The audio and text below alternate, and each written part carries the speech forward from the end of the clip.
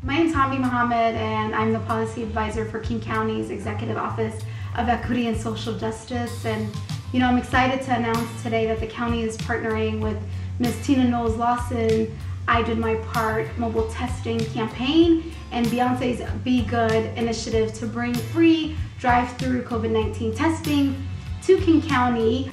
Um, you don't need health insurance and we will also be providing testing regardless of immigration status. Um, we will also be distributing care packages. COVID-19 is devastating our black and brown communities across this country and exposing all kinds of inequities in our healthcare system and economy.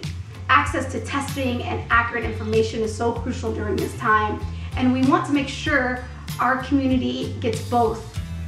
You know, King County is named after Dr. Martin Luther King, who once said, of all forms of inequality, injustice in our healthcare system is the most shocking and inhumane. We recognize that access to healthcare is not only important, but a fundamental human right. COVID-19 testing is available to anyone who has symptoms or has been exposed to the virus. Sometimes even if you don't have symptoms may be contagious. The event is happening on Saturday and Sunday from 11 a.m. to 5 p.m. on both days. On Saturday, uh, the testing will be hosted at HealthPoint Renton. On Sunday, the testing will be at Sea Mar and Federal Way. The addresses are listed in this video's um, description.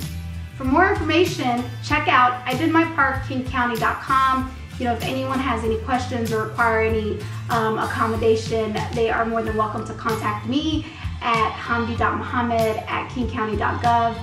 You know, I want to say thank you to all of our partners and sponsors and the 30 plus organizations who are supporting this effort. Thank you so much.